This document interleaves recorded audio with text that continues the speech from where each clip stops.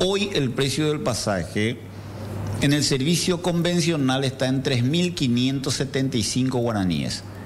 El pasajero paga 2.300. La diferencia la paga el Estado bajo la nomenclatura de subsidio.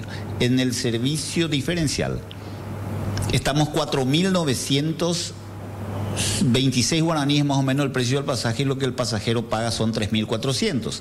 Esa diferencia es absorbida por el subsidio. Y eso viene sucediendo hace ya más de un año donde el pasajero no siente porque, repito, es el Estado el que asume en el cumplimiento de su rol social paternalista, pagar en vez de que lo haga el pasajero.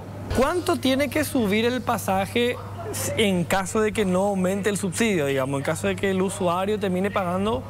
¿Cuánto aumenta según esta escala, esta ecuación, al aumentar 500 guaraníes el litro?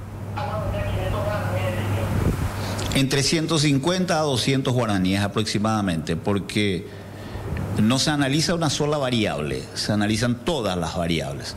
Pero si hubiese analizado solamente el impacto del gasoil dentro de la estructura de costos, aproximadamente unos 150 guaraníes. Mm. El mismo monto, si el pasaje sube 150 guaraníes y no lo va a pagar el pasajero, se aumenta el subsidio en 150 guaraníes para que el Estado le pague al empresario en vez del pasaje. Ese es el funcionamiento. y es el mismo monto. ¿Cuánto es por mes, más o menos, don César, eso?